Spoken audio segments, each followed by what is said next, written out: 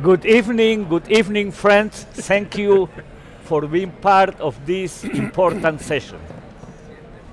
We are very happy that today we are releasing an important publication, Powering Nature, Creating the Conditions to Enable Enabling Nature-Based Solutions.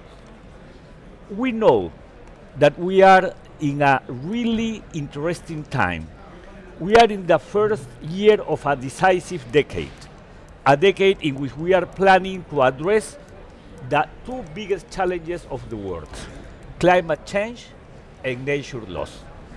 And when we think about that intertwined crisis, nature-based solutions is becoming a really important tool that it is getting traction. So for today's session, and later I will introduce our panelists, we will present some recommendation to continue enabling conditions to make nature-based solutions a strong reality. Having said that, let me give the floor to Marco Lambertini, WWF International CEO, for an opening remark. Marco, you have the floor.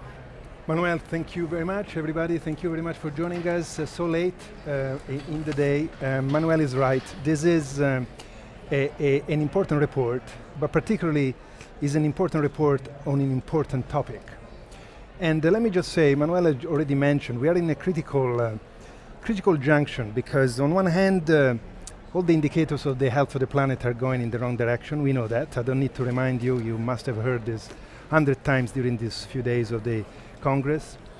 But on the other hand, we are also uh, something else is happening, which I think is extremely exciting and has the potential of transform what we have to transform the relationship, our relationship with nature in the last, I would say, several centuries, and particularly in the last uh, several decades, what is known and as the great acceleration of unsustainable use of resources. We have, uh, on one hand, disconnected for nature, from nature, our uh, uh production and consumption system, our economy where the economy has developed at the expenses of nature and uh, uh, creating all the problems we are facing today, including climate change. And, uh, and on the other hand, also, we have disconnected ourselves culturally, and, and billions of us have disconnected from nature in our lifestyles. It's time to change that. It's time to realize that uh, uh, that cannot be, uh, cannot continue, it's not sustainable, and this is the, the, the new dimension of our times. I really, I really believe so. And I, you know, I've been in conservation for a long time, in nature conservation for a long time. I, I never seen um, climate, of course, but also nature higher in the political, in the corporate, and in the public agenda. It's actually amazing. And particularly, it's not just the fact that it's high in the agenda, it's how we're beginning to perceive nature. It's a true I said this several times in other panels, is a true cultural revolution, is a true shift from considering nature something beautiful, nice, uh, for which we have a moral duty to coexist with, to actually an essential element to our economy, our prosperity, our uh, uh, uh well-being, our health, our happiness, something that really underpins uh, our future. So that's truly a cultural revolution because this is uh, bringing us to realize that we can't take nature for granted any longer and we need to embrace a significant change in our behaviors and systems. It's not tweaking the edges. We are talking about a deep change and that's mm the challenge, but it's also the great opportunity. So this report, and I'll hand over after this short introduction to Manuel and the panelists, this report is important in two senses for me and has got two new elements perhaps. One is that he's talking about nature-based solutions, um, reminding us that actually nature, nature has been at the basis of solutions of so many things. Mm. We've been taking inspirations from nature in, in order to evolve our technology. Biomimicry is called. It's called, uh, we, we've taken uh, uh, nature as an inspiration uh, to develop new pharmaceutical compounds that saved millions or millions of lives. Now it's time to take nature as an inspiration to address some of the key societal challenges that we're facing today. Obviously, nature-based solutions are known to be nature-based solutions to climate change, but actually There are nature-based solutions to water uh, scarcity, to food uh, insecurity, to poverty, malnutrition, uh, uh, and, and so on and so forth. All the big challenges our society is facing can be addressed with the help of nature. Um, but for that, we also need to embrace a very clear direction. Manuel is absolutely right. It's clear that nature and climate, biodiversity and climate, are the two major challenges climate change, biodiversity loss, challenges of our time. Uh, because destabilizing that will destabilize everything else. But uh, uh, in order to address those two challenges properly, we also need to be clear on what is our global goal. On climate is clear, carbon neutrality, uh, net zero emissions by 2050. On nature, that's what we're discussing in this Congress. We need a global goal for nature as powerful, as clear, as unifying as climate change. We in WWF and many others, in the pavilion for example, are supporting this goal of nature positive. More nature at the end of the decade than we have today. This is a disruptive goal, like the one for climate that has disrupted the energy sector, pushing electrification, pushing renewable energy, will be disrupting the other sector that are driving nature loss. Agriculture, fishing, extractives, forestry, infrastructure. Imagine nature positive infrastructure amazing to mandate government and corporate and investors to do that. That will be a disruption in the sector. They will have to find ways to develop infrastructure, but not losing nature. So that's my little introduction, but this is a great report. I invite you to, to read, uh, read it for sure, to engage in the follow-ups, of course, which is about getting it to work. So, Manuel, thank you. Thank you, thank you very much, Marco, for your introductory remarks. And, and how we will proceed. I will present briefly what the report contains, and after that I will leave to our great panelists to make some comments around how to enable conditions to strengthen nature-based solutions as a key tool to address this intertwined crisis in between nature and climate. And, and let me start by saying something personal as you probably know, some of you know, I've been involved strongly in the climate debate. A debate in which we've been able to develop many, many good things. One of those, the Paris Agreement. And when people ask to me, how can you summarize the strength of the Paris Agreement, I am used to saying, the Paris Agreement it is a good one because it has a clear threshold. Everybody knows it has been adopted by consensus that we cannot rise temperature in more than 1.5 by the end of the century. And that has been confirmed by science, mostly by the IPCC. Also, we know clearly what are those two main objectives. Decarbonization, that it is related to the concept of net zero, despite that still there are many contentious elements that we are discussing. What is the role of nature in the net zero, what it should be the role of carbon markets, what does it mean, what is that mitigation hierarchy, but nobody is doubting about the concept and the objective to be net zero by the half of the century, but also to be resilient and to develop adaptation plans as a way to reverse what the poorest people and the ecosystems are mostly suffering. So those two objectives are key. And we have the NDCs as a way to implement that are our domestic climate plans. And we are pushing and encouraging our countries to raise ambition, to be more ambitious. This is the year of ambition when we think about climate. And we have some enablers finance, technology transfer, capacity building, the role of the non state actors, the role of science, among some others. And we used to ask some years ago, where is nature? W what is happening with nature that it is not getting the same traction? But fortunately, that has started to change. And that is good.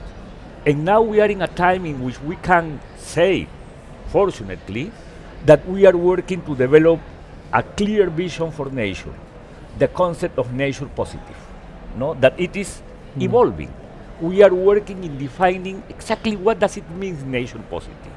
And it is good because soon we will be able to say we have net zero nature positive as two main objective to move towards sustainable development, and that is good.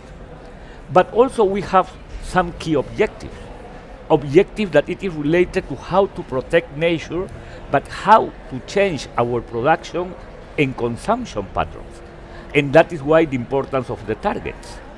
We do need still to continue thinking on how can we strengthen the NBSAPs as a mechanism that it should be equal as the NDCs.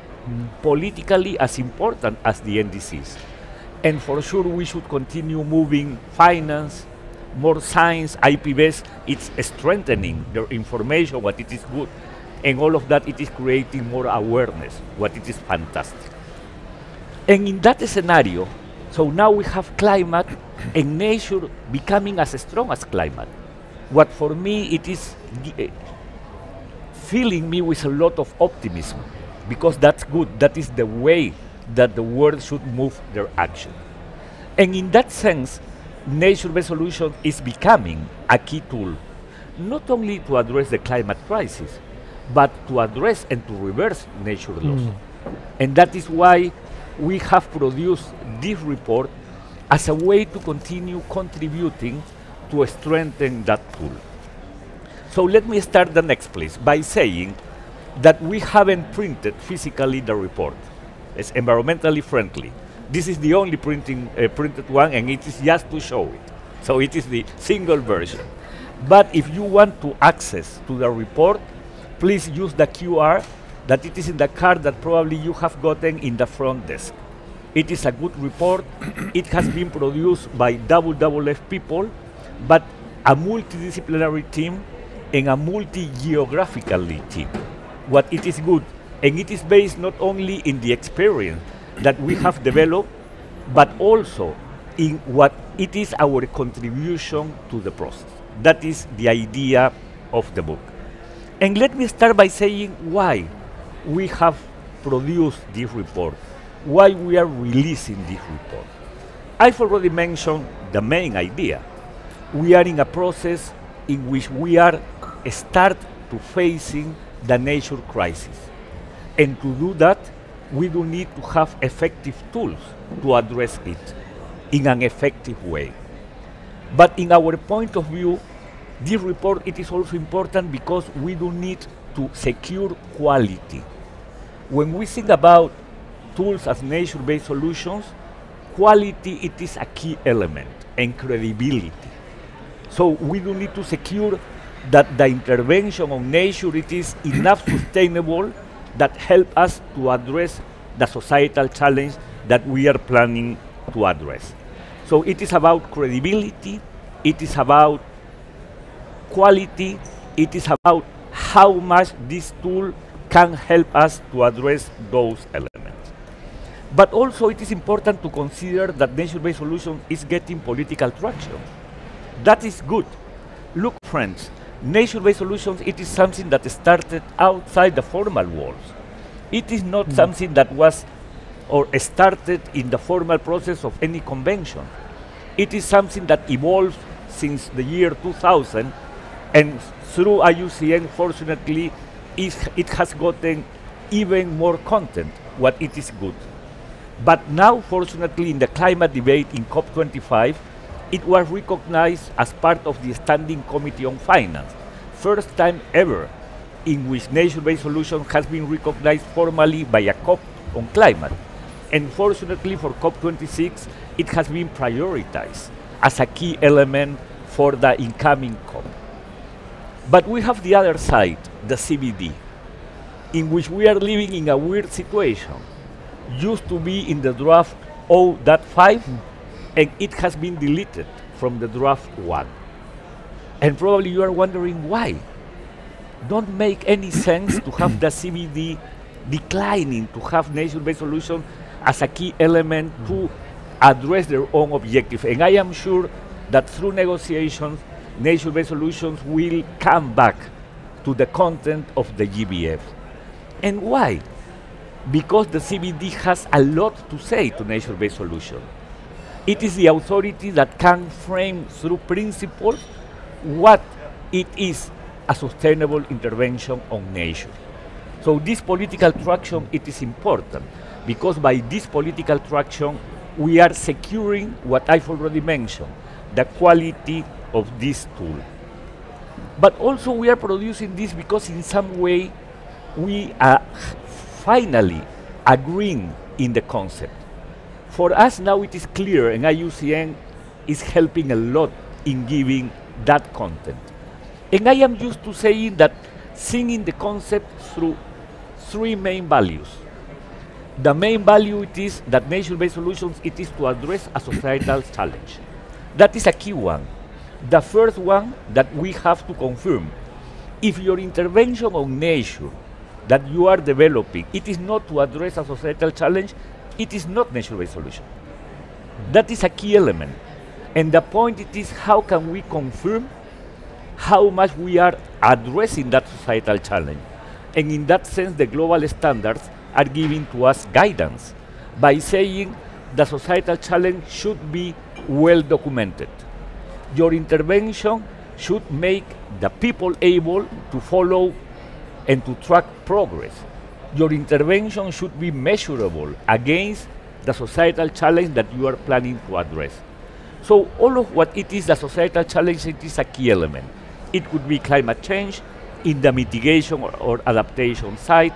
It could be food security. It could be health. It could be water security. It could be uh, risk management. Or it could be biodiversity itself. So the point it is that that is the way in which we can secure that we are addressing that societal challenge. But what is the second value?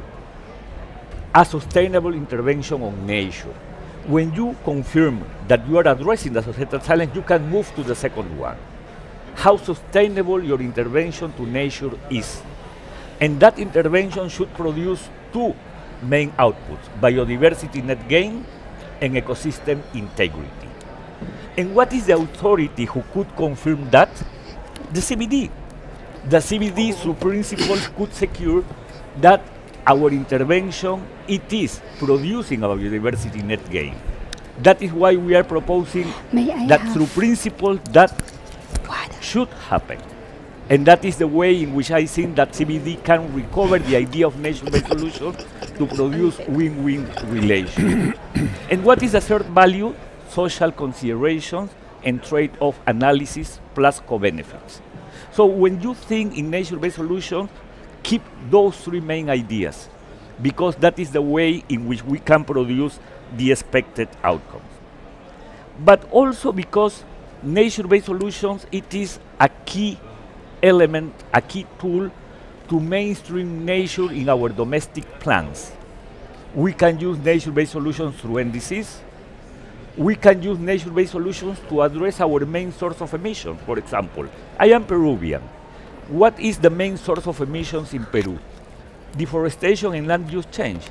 63.5%. It is not energy. It is not transport. It is not the industry. It is deforestation and land use.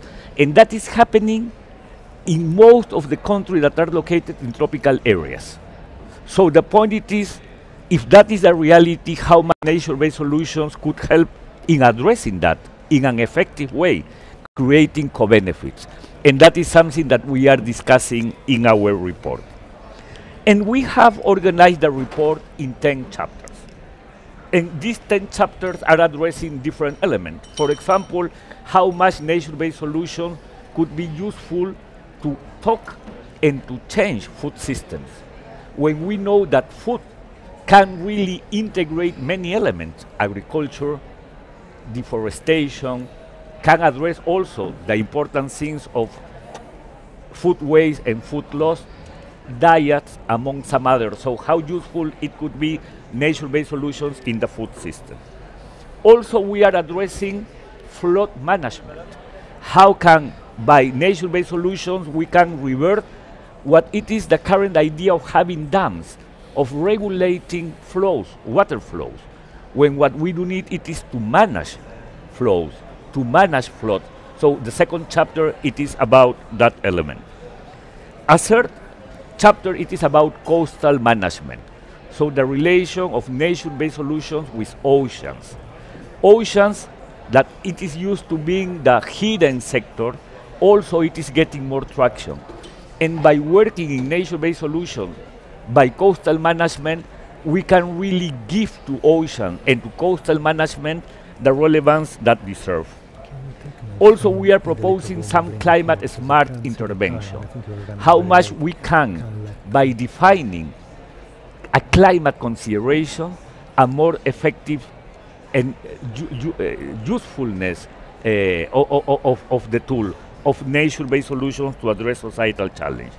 Something important that I am sure that Hindou is going to address it is how much we must work by respecting rights, by respecting traditional knowledge, and by working with indigenous peoples as a way to use their traditional knowledge to address those societal challenges through nature-based solutions.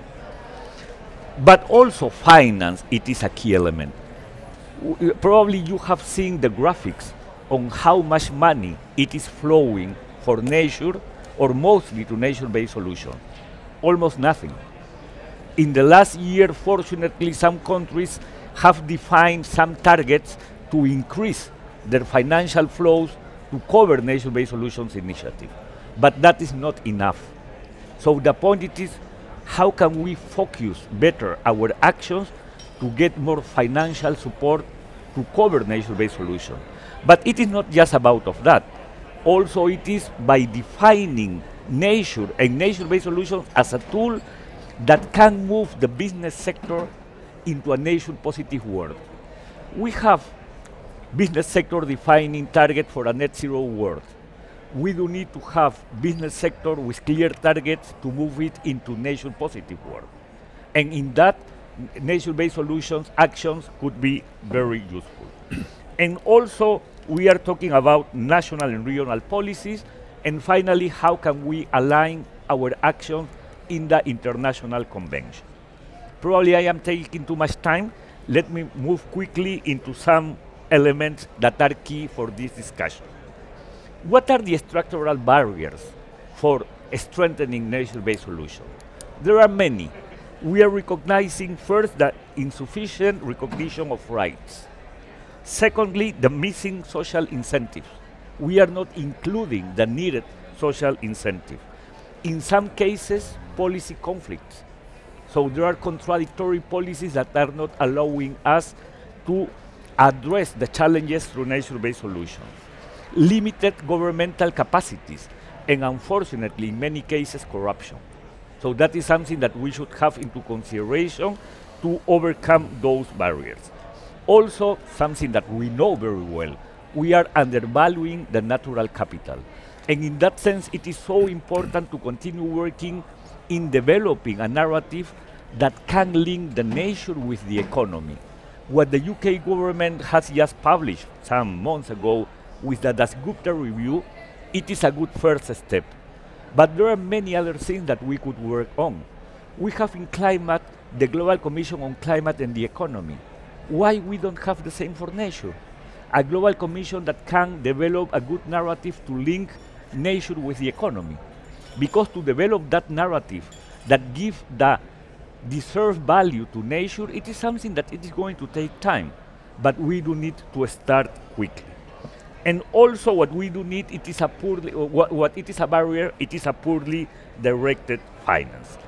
So we have identified policy levers, planning elements that could address all those barriers, also some economic enablers that could contribute and help to make nature-based solutions a strong reality.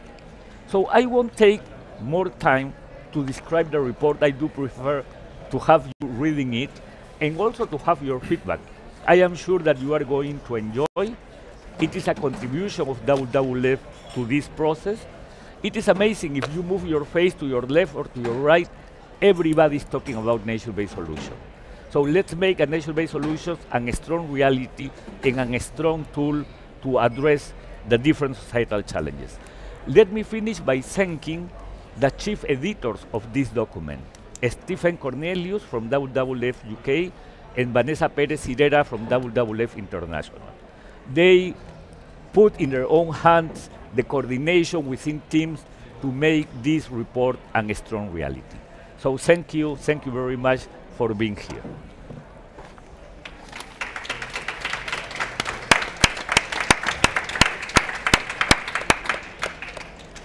So now, because I am like master of ceremony, presenter, and moderator, let me move into in, into the panel. Saving money.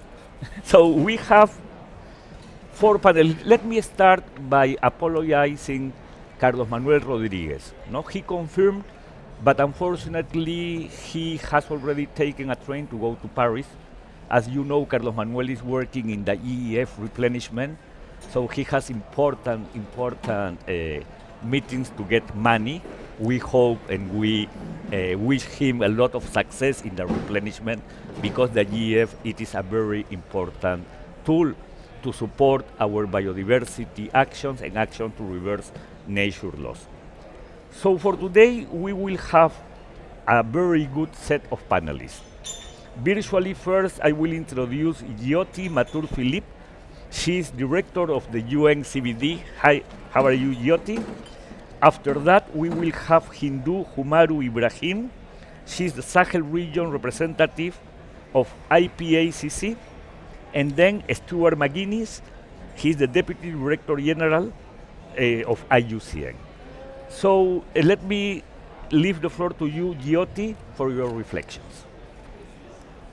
Thank you so much, and thank you, Marco and Manuel, for inviting us, the CBD uh, Secretariat here. As you know, we are in the middle of our post-2020 discussions on developing a, a 30-year framework for all by 2050 and to achieve our vision of living in harmony with nature by 2050. So we're very, very thrilled that you invited us and um, have given us a lot of challenges also today.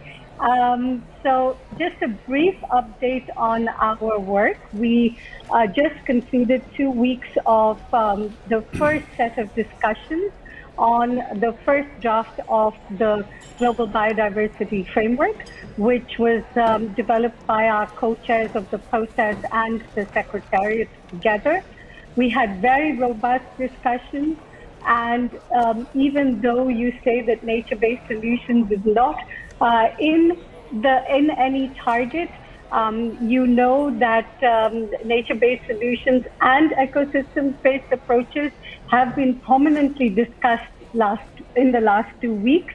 And uh, regarding the post-2020 global biodiversity framework, and the focus of nature's contributions to people is reflected in a number of draft targets and in uh, a specific goal in the zero draft and the first draft. And in fact, everything that all your um, uh, you know, all the headings that you listed food, coastal management, climate smart interventions, finance, rights of people, indigenous people, traditional knowledge they all feature in a target, even though we don't use the name nature based solutions in the in um, the in in the post 2020 global biodiversity framework.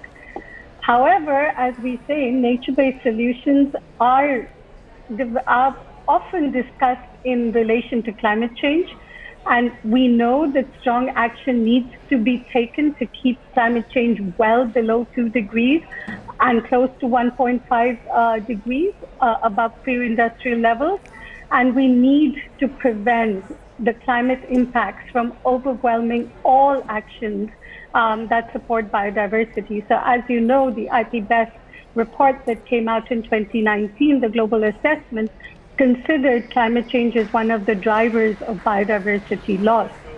Um, so the conservation and restoration of ecosystems can play a substantial role in the effort as illustrated by our global, envi- our uh, global biodiversity outlook, which came out last year, such nature-based solutions could provide about one third of the total net emission reduction effort required to keep climate change close to 1.5 degrees. However, for us, with appropriate safeguards, they could also enhance a wide range of ecosystem services including water filtration, flood and coastal protection, soil health, and they also contribute to conservation and sustainable use of biodiversity. For us, there are four very important caveats to the use of nature-based solutions or ecosystems-based approaches. Firstly, while they're an essential part of the solution, the climate problem cannot be solved without stringent reductions in the use of fossil fuels. Second, the distributional impacts must be considered and indigenous peoples and local communities, which you have already mentioned, must be fully involved in the development and implementation of ecosystem-based approaches. Third, while many ecosystem-based approaches have co-benefits for biodiversity, this is not always the case. And a very careful assessment of synergies, trade-offs, and safeguards is required. For example, in particular, tree planting is not always appropriate, especially non-native species or monoculture plantations. Fourthly, climate change impacts can undermine ecosystems resilience and thus weaken the contribution of ecosystems to both mitigation and adaptation of climate change.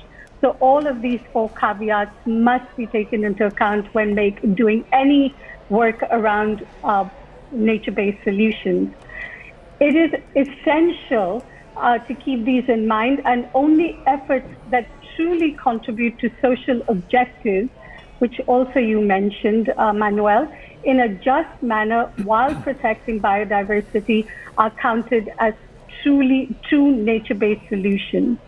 Clearly, ecosystems-based approaches and nature-based solutions also go beyond um, climate mitigation and adaptation.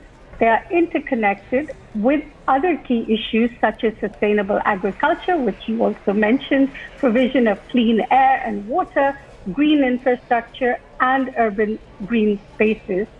Our GBO5 also reported that transformations needed to be achieved in the production of goods and services, especially food, also something you mentioned.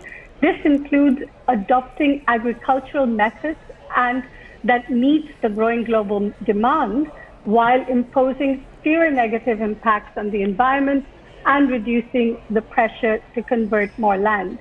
It also means limiting the demand for increased food production by adopting healthier diets, reducing food waste, and addressing the consumption of other material goods and services affecting biodiversity. Deployment of green infrastructure and making space for nature within built landscapes to improve and uh, the health and quality of life for citizens also needs to be factored. Each area of action relies on substantial changes and innovations implemented on a short time scale and involving a range of actors at all scales and across all sectors. Looking ahead, it will be critical for nature-based solutions to leverage broad action, recognizing the value of biodiversity and enhancing or restoring the functionality of ecosystems on which all of us, all aspects of human activity depend. I also want to end with um, um, a request to Marco um, because he, we, we have been talking about the single goal for nature or for biodiversity for a very long time, but we have to keep in mind um, that we, our convention has three objectives, not just conservation. We also have sustainable use and access and benefit sharing of um, of genetic resources. So any um, any global or one um, uh, goal must include uh, these um, the three objectives of the convention uh, to be and to be equally fair across all all all um, the entire um, convention. Thank you. Thanks a lot. And thank you for providing us with an opportunity. Thank you very much, Jyoti. Very, very good points. And it is good that you have reminded us the three main objectives of the convention. That is a key element when we think about biodiversity because it is for sure conservation, but also sustainable management and, and access and benefit sharing are two, two key elements. But also I would like to, to, to, to raise the importance of your caveats. For sure, when we think about nature-based solutions, it is not a way to divest what it must be for the world a key priority, that it is a systemic transformation of the energy system. That is key, and to eliminate subsidies to fossil fuels, and, and to phase out gradually from all the different fossil fuels, it is some element that we should have into consideration. The fully involved and engaged of indigenous peoples and the protection of their rights and their traditional knowledge. Safeguard and trade-off analysis. That is a key element that I am sure that Stewart in mm some way, by talking about the global standard, probably he could address.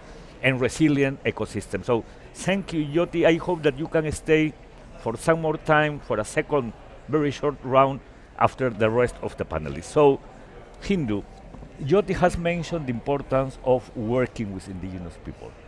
And, and, and I know that when we think about nature-based solution, for many people immediately come back the idea of red plus, carbon market, and, and the resistance. No, many people to say we cannot make a market what it is culture. No, so so how can we by working with indigenous people, we can make nature-based solutions and a strong instrument to address all those societal challenges. Sure. Uh, thank you very much, uh, Manuel, and thank you, Marco, for uh, uh really this event, these invitations. And hi, everyone. It's so so great to see your faces and being in person this is also one of the nature-based solutions. We need the social life in order to really give us energy to fight and protect the nature. So, what is nature-based solution for indigenous peoples? For indigenous peoples, it is our way of life. It is the way of life for centuries and centuries. Maybe people just talk, come with the name and call it nature-based solutions, but for us, we're living it since it's centuries. Don't take me wrong nature-based solution in my community is a bullshit. Why I say bullshit? Let me explain. It is a bullshit because when you own a cattle, you are a pastoralist. You move from one place to another one. So you leave your cattle shit to fertile the land in a natural way. And that helps to regenerate the nature. So the bullshit is a solution. it's a nature-based solution. That's how we have to take it. And indigenous people around all the world, they know a different knowledge to diverse the ecosystem from the oceans, because when we talk about the nature-based solution, it is not only around the forest or around the uh, land, it is also around the oceans, where the Pacific peoples know where are the mangroves, where are the coral reefs that can help to diverse the ecosystem inside the sea in order to give them the food. So that's also part of our traditional knowledge. I really like the report, how it is structured. But one thing maybe need to get improved. It is to do not put separate indigenous peoples and indigenous peoples' rights. It is connect indigenous cross. peoples and rights as cross-cutting issue we are not in a single box. That is what used to happen in all the environmental life. And as you all see, I will keep repeating that in this event. At the opening ceremony, how many people was in the stage? Of course, the presidents, the actors, and uh, uh, uh, the, the, the farmers that managing the funding. And what they have in common, all of them mentioning indigenous peoples and indigenous peoples in the protection of the nature. But what they forget about it, indigenous peoples have a mouth, they can talk, they are there, they don't need a babysitting. They can talk for themselves. So why people keeping talking about us without putting us in the place that we want? They all agree that we need indigenous peoples into the decision-making tables thank you. You made it because I'm in the tables, and I also think my other colleagues, indigenous peoples, can be in the tables in your discussions and talk for ourselves. But it is not the case where they are taking the right decisions. Mm. So that need to change. If you can make it as cross-cutting in this report, and you can ask them we can talk for ourselves. So that can help the nature-based solutions to move forward. Second thing is, you talk about our knowledge. Why it is so easy to talk our, about our knowledge and not about our rights. Our knowledge are connected to our rights. So don't choose on someone. Take it at all. So you cannot just to say, I take one finger and I, I cannot take the others. All the fingers work together. Otherwise, if you don't have one, you miss, there is something missing in your body. So as knowledge, rights work together. Third thing is, you talk about the finance. And I really like also the point you say, how much finance is going to the nature-based solutions to the climate, from the climate to biodiversity? It's like 1%. And nature-based solution, Marco, you said it is in all the agenda, luckily. But is it really a talk or is it a reality? Mm -hmm. So there is need of shifting the finance to fund the nature-based solutions. And when I say they fund the nature-based solutions, they must fund the indigenous lead solutions. They all recognize we have our own technology. We can predict the weather, forecast.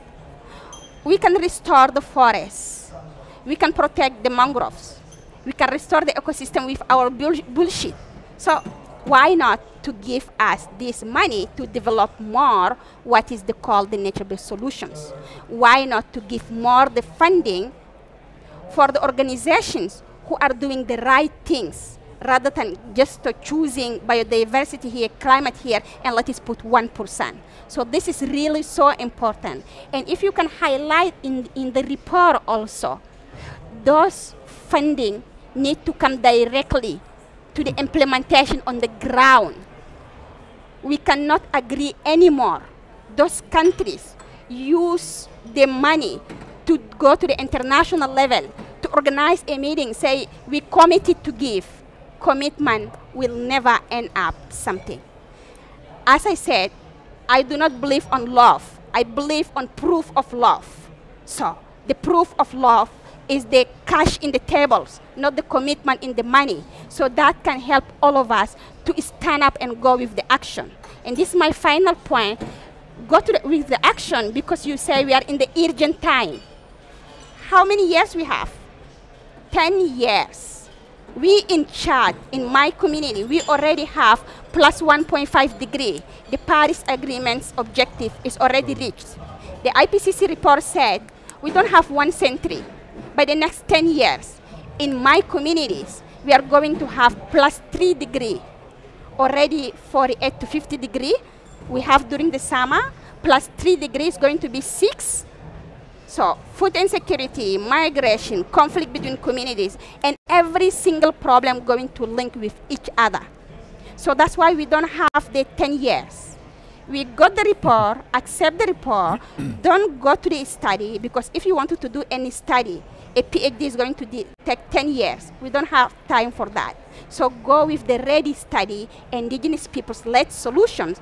Trust us, invest on indigenous peoples, and you can get the right solution to restore biodiversity, to reduce climate impact, and to make the nature-based solutions a reality for everyone, not only, only for indigenous peoples. Thank you. Thank you, thank you very much, Hindou. This phrase, funding to implement on the ground, it is a key one. A and it is true. Many intermediaries for that money and not money for to implement yeah. on the ground. And, and that is also happening domestically sometimes because of the public regulations for public money, there are no conditions to move money to develop nature-based solutions with and for the people. I, I, I, saw in Peru a nice initiative to promote traditional uh, ancestor technology for irrigation, waruwarus, amunas, all those names, and without the support of the Minister of Finance because there are no that conditions. So when mm. we think about enabling conditions, it is also about those conditions. To make possible to move the money to the ground, to implement on the ground to the people and with the people. That, that, that is a key element. And also this connection in between, and that is key, knowledge and rights. Mm. This the same coin. It is exactly the same. We cannot separate both. So now let's move with Stewart. Stewart, you are, and I really appreciate what IUCN is doing and is working in making nature-based solutions a strong reality. So you move from the concept, then to the global standard. Also, you are testing, no, in some way, how well the standard is working, and probably you have some future plans. Could you share with us what IUCN is expecting? It could be the next step for nature-based solution. Okay, thanks. Uh, thanks very much, uh, Manuel, and thanks, uh, Marco, for, for inviting me here. Um, I'd like to just say congratulations. I uh, I sat outside and I, I read the uh, the summary. It's it's great. It really is. It's very. I think there's a couple of things that are important. It shows. Uh, it comes back to a point you made, Marco.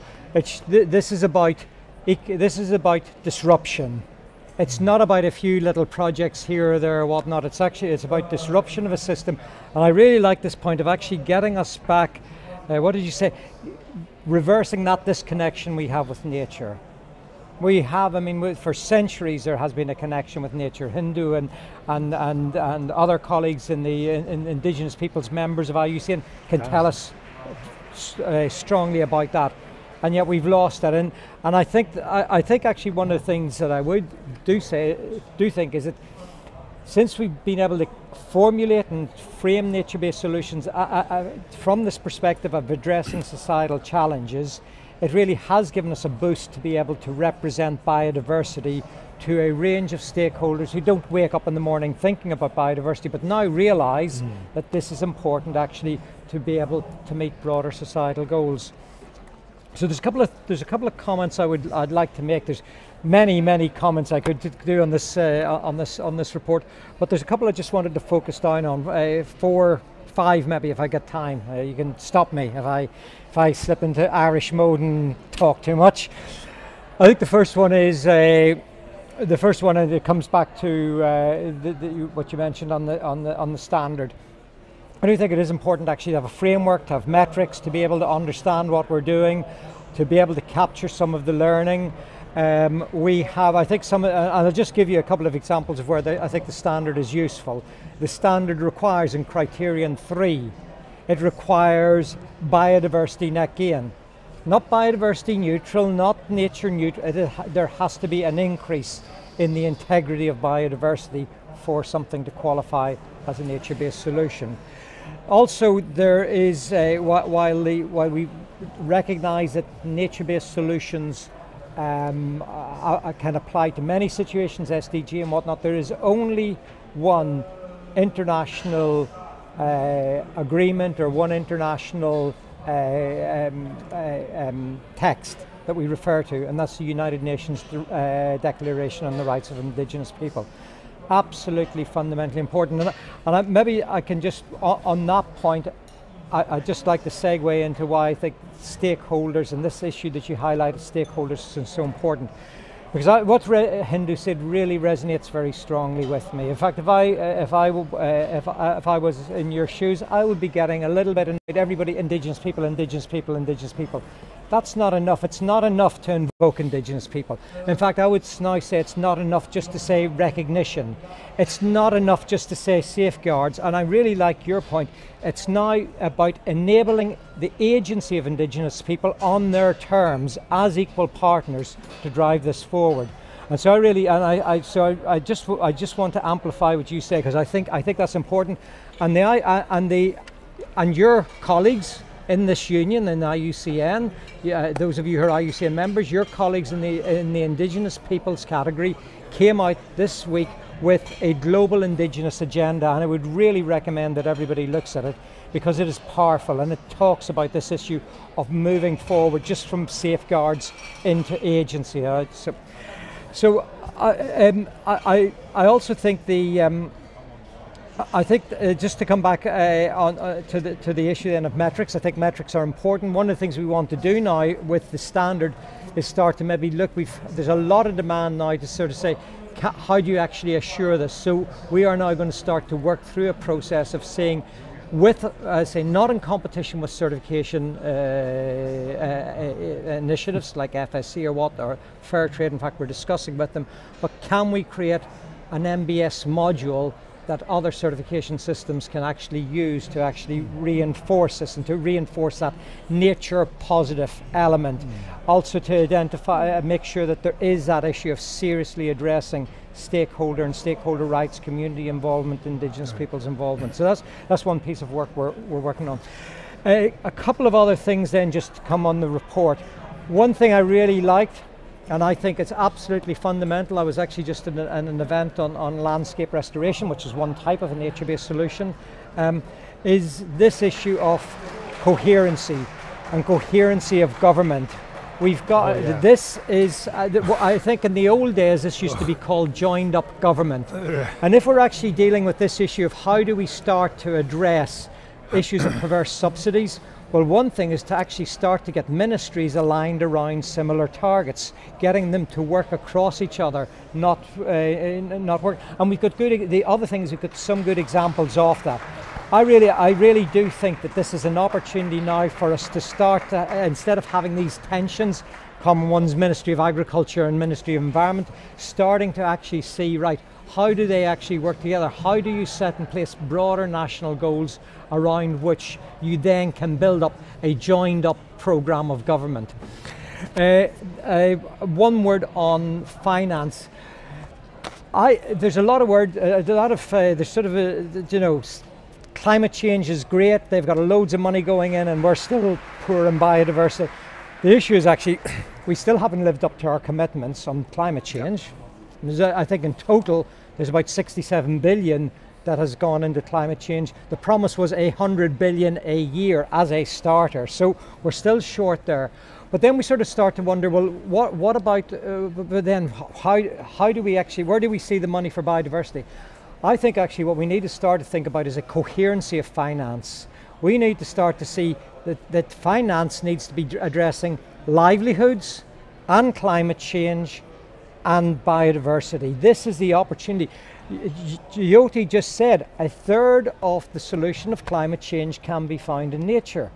So it's not a competition between the two. It's mm. actually a sensible and clever deployment that deals with the livelihoods, that deals with, uh, with, uh, with investing in nature and nature positive action, and yeah. of course addressing adaptation and mitigation uh, uh um, uh, objectives.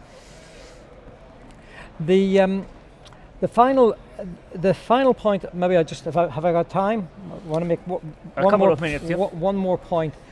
And I think it's it's it's the it's the issue of we talked about finance. I think we've also got to talk. Oh, sorry, one more thing on finance before I go. When we talk of finance, and this links back to the issues of inclusion and agency, I think we've got, really got to start to think about inclusive finance. It's, and I want to re, re, echo yeah, Hindou's yeah, point sure. again. It's where does, uh, how does the money flow? Does it get mediated through so many channels that communities on the ground get 10 centimes for every dollar? That's not going to be an incentive, and yet it's going to be the communities on the ground to, to actually work. So I think there actually is. We need to find ways of actually of being able to get finance and financial flows. It's not good enough just to say we need fi more finance, we also need inclusive finance. Yeah. And I would say uh, from two perspectives. One thing I'm very happy with, IUCN is working with the JF&CI where we, we will now work on an inclusive finance initiative which aims actually getting resources directly to uh, uh, Indigenous peoples and communities and obviously Hindou, you, you're aware of that. But the other thing is as well, I think we also sh we shouldn't just think about this of grant money. I think we actually should start to think about loans as well. Mm. Why are loans only for the large corporates? It's been 20 years, I think, uh, Emmanuel, since your, uh, your fellow countryman, Hernando de Soto, wrote The Mystery of Capital. And I always wished someone would have write an equivalent. That was about urban situation and the urban poor and the barriers to action for, for actually uh, allowing urban poor people to invest. But I always wish someone would do the same for the rural situation. Mm there is, if you look at the, the barriers to actually stop small scale farmers actually access capital so that they can invest in their own land, invest in nature based solutions. We need this is I was actually uh, I was having a, a, discussion with KFW and uh, the Bezos Foundation and uh, a couple of other colleagues, the, the, the UK high level champion today. And I said, we need this. Can, this is a fixable problem to actually start to get opportunities that uh, that that uh, small farmers can actually go and take investments that they just don't need to rely on grants because they it's not public money is not enough. They need to be able to access and access uh, loans as well. And i do think this is a fixable problem uh, that we need to address. Very final thing on on economics. I, I think one thing we really need to look at is the situation now post covid many countries now, we're going to ask countries to implement their NDCs, to implement new targets coming from CBD, and they have all taken on additional public debt yeah. to deal with COVID. That's and I think this is one thing we really need to seriously look at now. How, how can you ask a country to do that when they're actually they're paying out more when their debt repayments are going higher? So I think we need to have a new generation of, I'm not going to call it debt for nature because as you know there was, there was a, I think quite a valid critique of debt for nature was that it was a, the conditionality was quite northern driven.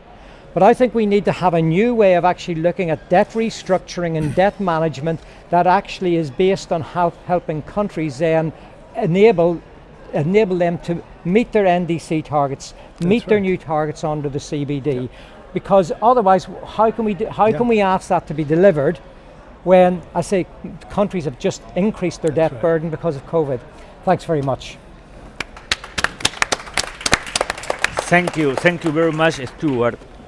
Look, friends, we are running, unfortunately, out of time, so go, yeah. we won't be able to take too much more time. But let's do this we are less than two months ahead of COP26, so it's coming soon. It's November. And then the CBD COP15 in, in Kunming.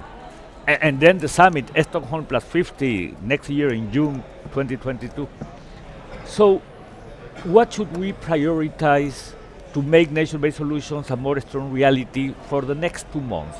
What it should be mm. our most immediate steps that you think we should adopt as a way to continue moving this agenda forward. I don't want to pointing anybody, but if somebody wants, do you want to start? Uh, Jyoti? Ah, Hindou. I have one. Yeah. If all of you can work, make the financial system to commit at least for one billion dollars for indigenous people's direct access to the nature-based solutions. Very easy. There are a lot of money outside. We are having a lot of billions and billions and billions and we hear it from COVID and from everyone. Just to commit, when we go to the COP26, and there is commitment of $1 billion direct access funding for indigenous peoples. By the Kunming, it will be the implementation from the $1 billion.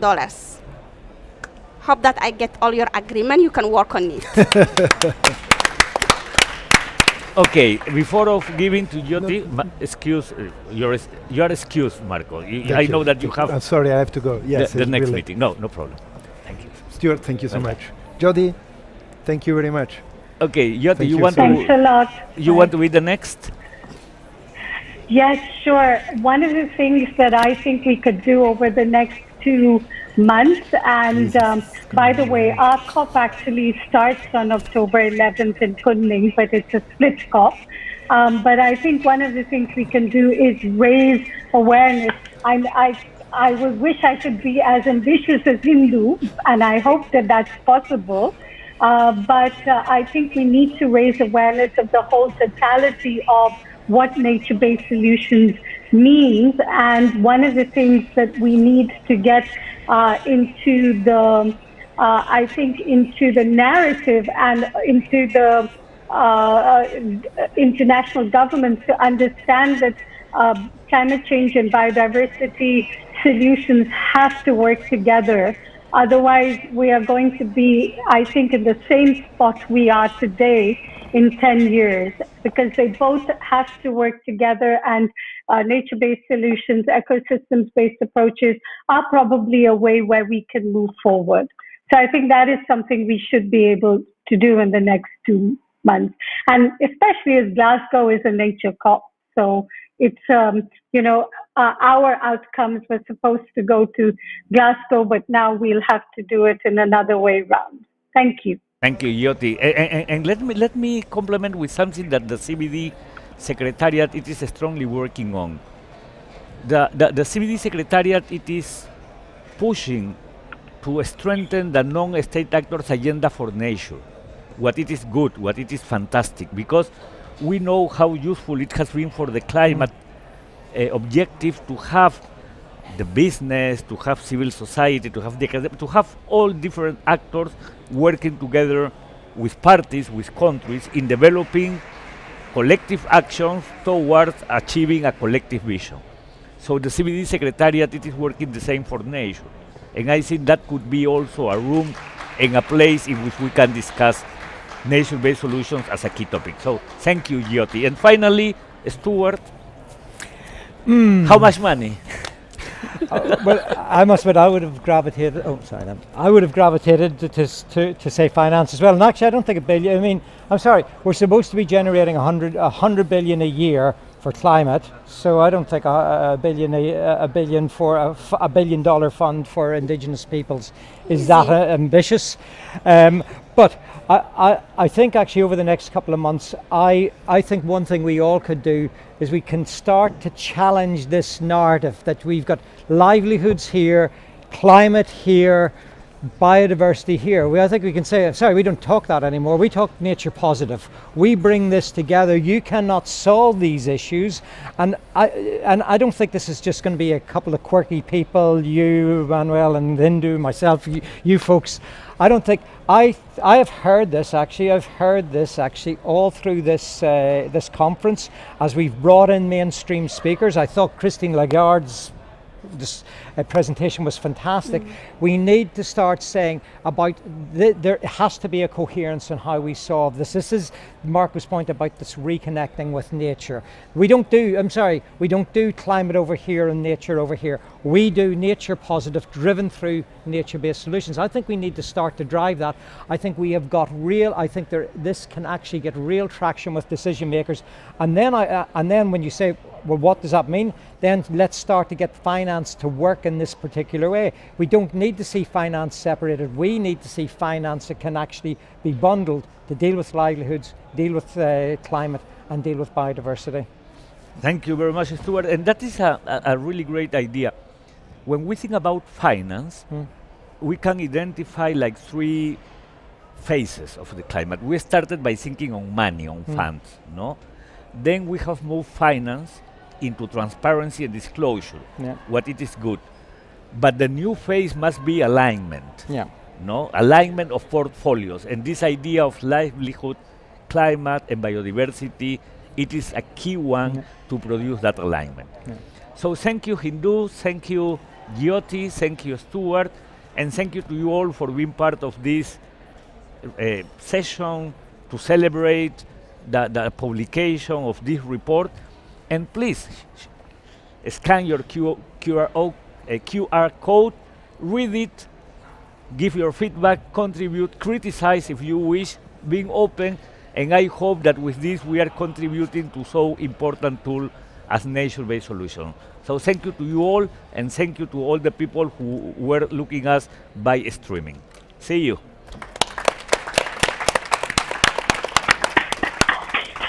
And thank you for moderating. No, thank you. Thank you Thank you very much.